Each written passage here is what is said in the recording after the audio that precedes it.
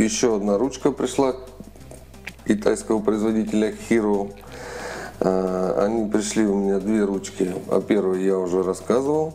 Теперь вот рассказываю о второй ручке. Это модель Hero 9622. Приступим. Значит, в таком вот пакетике она была.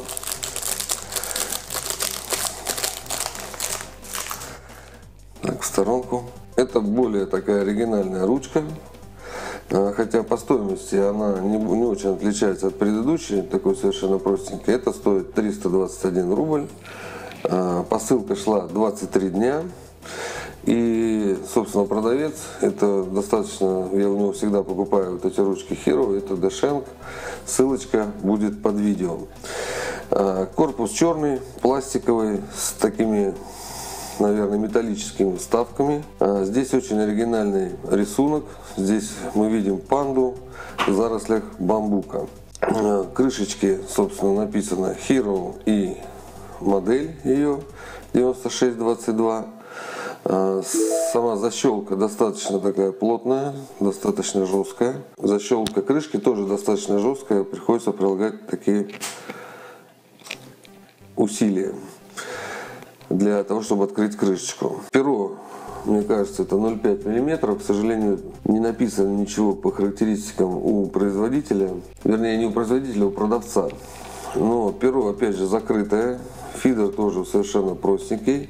Но вот саму держатель, вот за что держишь, собственно, достаточно оригинальная. И, в общем, достаточно красиво. Должно понравиться тем, кто будет пользоваться этой ручкой. Что внутри у нее? Сейчас посмотрим. Откручиваем корпус. Э, приемник для чернил стандартный для Hero. Здесь тоже написано все по-китайски, тоже Hero написано. Да, это не винтовой поршень, а такой Э, плавно скользящий с такой пружиночкой, которая внутри находится. Это снимается и можно вставлять картриджи сюда стандартные. Сейчас мы ее взвесим. Да, сама крышечка еще что удобно, что она здесь предусмотрена то, что можно крышечку ставить прямо на кончик ручки. Она достаточно плотно стоит и никуда не девается. При письме, кстати, это тоже очень удобно. Сейчас мы ее взвесим.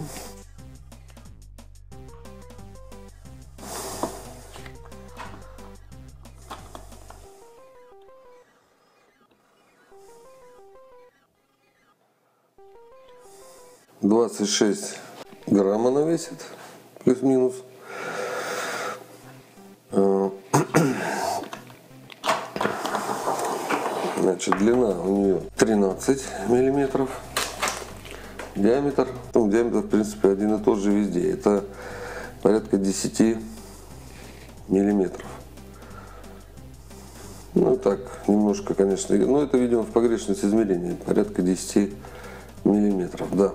Значит, сейчас я буду ее заправлять, но хочу обратить внимание на еще канал, один, который занимается тоже ручками, сам пользователь. И мы совершенно неожиданно для себя узнали, что практически одинаково представляем ручки. Э, Причем канал это не из России, канал это из Италии. Но там, в общем, все понятно, поэтому я его тоже рекомендую. Ссылочка будет под видео обратите внимание, у него на распаковке и на представлении характеристик совершенно другие ручки, но иногда попадаются те же самые, что у меня.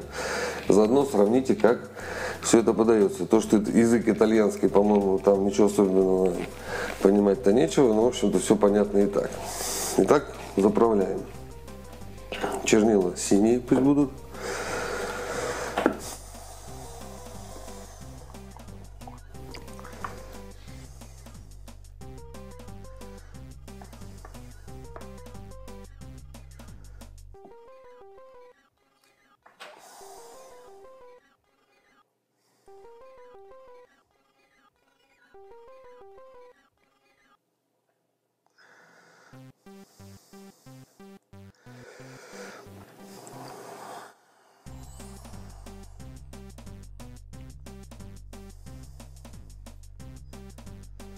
Так. Чернила убираем.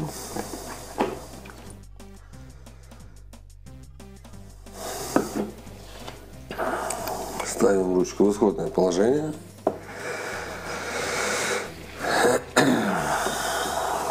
Что-нибудь попробуем написать.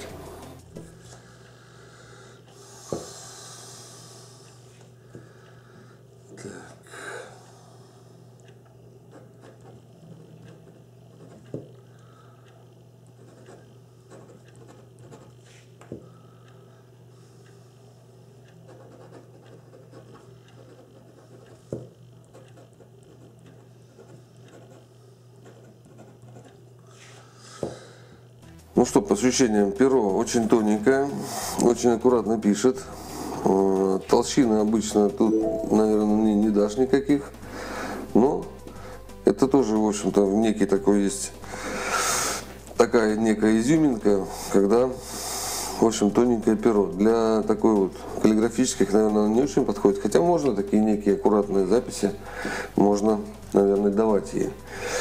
Итак, продолжение. Что-нибудь покрупнее напишем.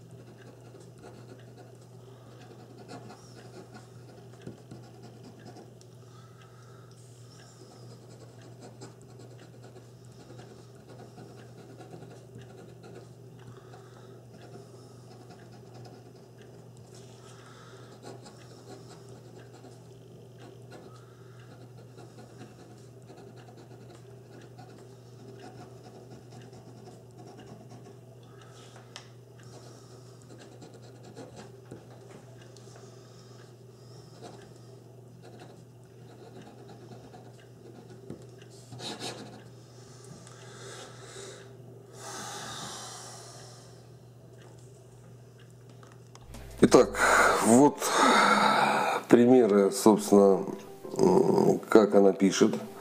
А, по ощущениям, а, само перо очень легко пишет. А, единственное вот недостаток, что при даже при сильном нажиме все равно это тонкое перо. И оно не дает вот таких вот красивых переходов. Но все равно очень такая надежная ручка, мне кажется, и такая достаточно оригинальная, с таким оригинальным рисунком. Кстати, при таких э, моделей, модели вот 9622 есть несколько цветов, это голубой, э, розовый, по-моему, темно-синий и черный. Поэтому заказывайте, вот кому понравилась такая ручка, пожалуйста, она небольшая, но достаточно качественно выполнена. И цена, собственно, всего лишь 320 рублей. Поэтому вот рекомендую, кто заинтересовался, пишите, спрашивайте, оставляйте комментарии. Э, зайдите в канал к моему итальянскому другу, посмотрите, как он это все делает. Ну и остальным всем счастья и здоровья. До свидания.